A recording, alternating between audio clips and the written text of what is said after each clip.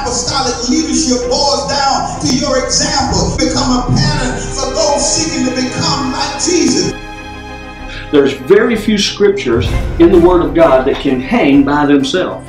And we act not on the Word in our mind, we act on how we feel about the Word.